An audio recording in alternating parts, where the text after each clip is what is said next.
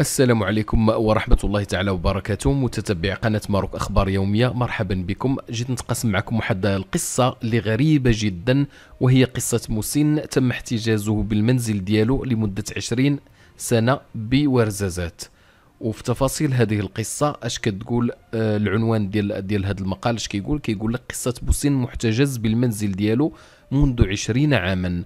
وفي التفاصيل تمكنت الضابطة القضائية التابعة للدرك الملكي بالقيادة الجهوية لورزازات بتعليمات من الوكيل العام للملك لدى محكمة الاستئناف بورزازات من نقل مسين في عقده السابع إلى مصلحة الأمراض العقلية والنفسية بمستشفى سيدي حسين بن ناصر لتلقي العلاجات الضرورية بعد أكثر من عشرين سنة على احتجازه من قبل العائلة في منزله وكشفت معلومات وفرتها مصادر.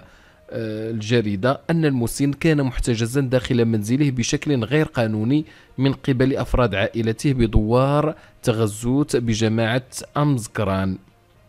أمرزكان التابعة لإقليم ورزازات مشيرة إلى أن المعني بالأمر عثر عليه مقيدا بالسلاسل الحديدية طوال هذه السنوات العشرين. وكشفت المصادر ذاتها أنه وفقا للتحقيقات الأولية فإن الضحية تم احتجازه بحجة أنه مصاب باضطرابات نفسية خطيرة وكان يهاجم أفراد العائلة والمواطنين وذلك في وقت تشير فيه المعلومات إلى غياب أي سجل طبي يؤكد أنه مضطرب نفسيا مما يجعل احتجازه غير قانوني وحرمانه من حريته الأساسية وتعريضه لظروف إنسانية قاسية لعقدين من الزمن.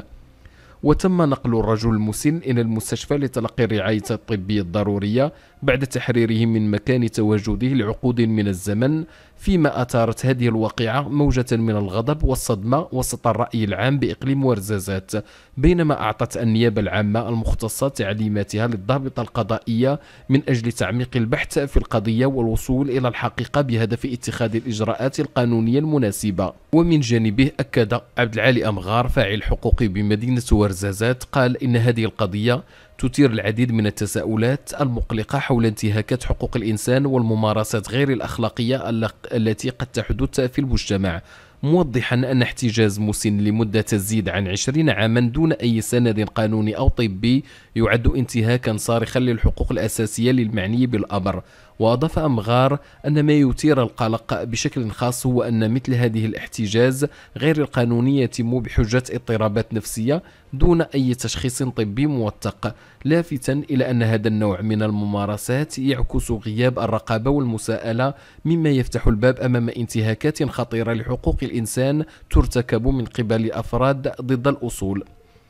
وحسب المعلومات التي تم الحصول عليها فإن العائلة صرحت أمام الضابطة القضائية والسلطات المحلية بأنها قامت بحبس المعني بالأمر في المنزل لأنه كان يعاني من أمراض اضطرابات نفسية وكان يشكل خطرا على أفراد العائلة وعلى المواطنين ونفت في المقابل احتجازه لكنها أقرت بأنها قامت بتكبيله وحبسه في المنزل لتفادي أي أذى يصدر منه. بحال المسائل خاص دائما يكونوا ملفات طبية لأن آه، الأمر لما كانش فيه ملف طبي راه يقدر يكون احتجاز لأهداف أخرى مثلا مثل الإرث إلى غير ذلك. ولكن كنتمنى أن الدرك الملكي يفتح في تحقيق في هذه النازلة لمعرفة الحيثيات الحقيقية وراء هذه التصرفات. وشكرا لكم.